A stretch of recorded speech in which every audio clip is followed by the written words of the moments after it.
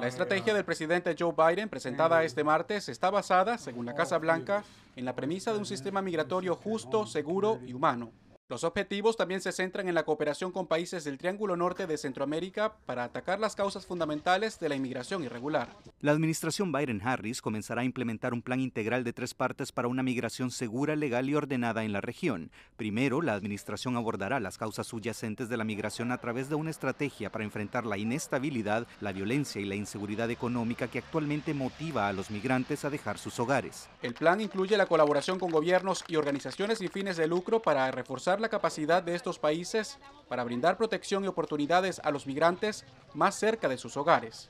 Las medidas revierten parte de las políticas de cero tolerancia de la administración Trump y buscan revisar el protocolo de protección de inmigrantes conocido como permanecer en México para los solicitantes de asilo. Representantes de los gobiernos de Honduras, El Salvador y Guatemala, consultados por La Voz de América, se mostraron a favor de una agenda común de desarrollo basada en el respeto mutuo. Encontrarán en la región países como Honduras que están dispuestos a trabajar bastante de cerca.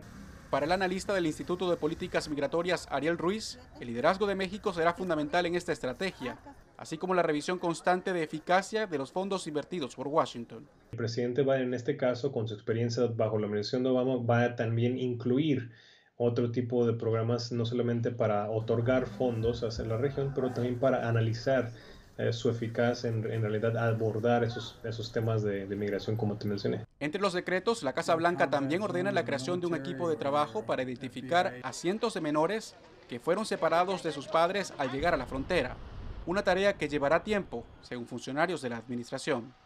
La Casa Blanca no descarta más acciones ejecutivas en el área migratoria al tiempo que insiste a los inmigrantes en que no es momento de emprender viajes a la frontera sur de Estados Unidos. Jorge Agobián, de América, Washington.